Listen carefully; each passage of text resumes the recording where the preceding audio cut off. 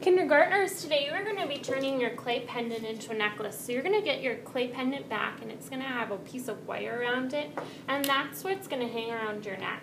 My first job is if I'm a number three, I'm going to go and get the paint trays, the lunch tray paints from the sink and I'm going to bring that back for my table to paint. I'm going to paint my clay any colors that I would like. I might need to do a, a, few different coats. That means I might have to go over some spots more times than others. But I'm going to paint my pendant before I do anything else. Now my clay has lots of different textures to it, so I have to make sure that no white space is still showing. I need to paint the sides. I think I'm going to change my color to red. The sides and back. No white space, kindergartners.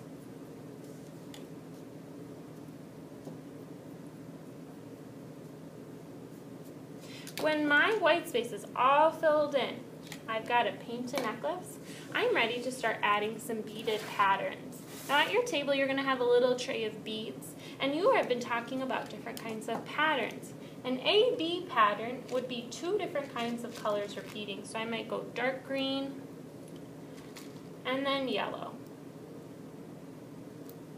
Green and yellow. Kind of like those Packers. Need another green and a yellow. I think I might want to change my pattern. My next pattern is going to be orange and blue. Orange and then blue. I am going to do different kinds of A, B patterns going all the way up my string.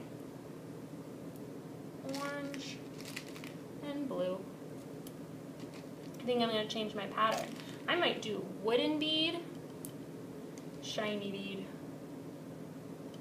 wooden bead, shiny bead, shiny pink bead I think I'm noticing, wooden bead, shiny pink bead.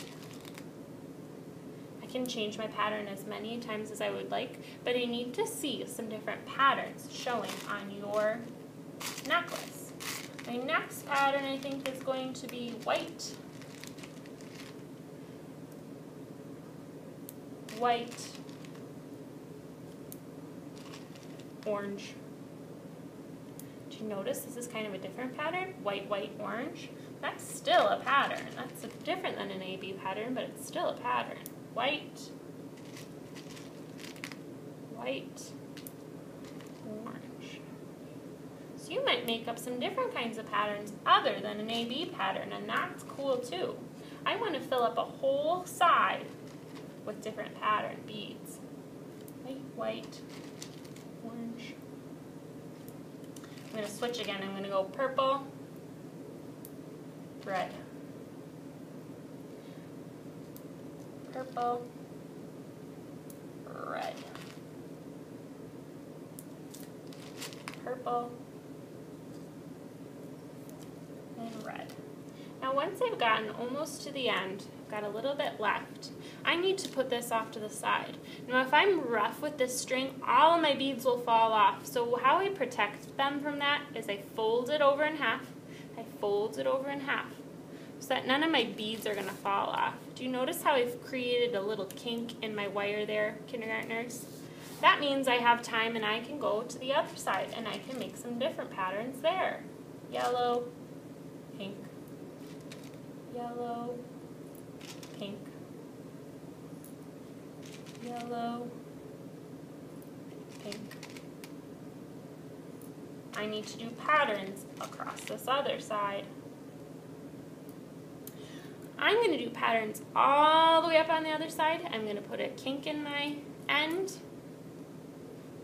And then when you're finished, you're going to carry both of those kinks really carefully over to me or Mrs. Reese. And we are going to twist those kinks together and you have a beautiful necklace that you can take home today, kindergarten. Great job. I can't wait to see how these beautiful necklaces turn out.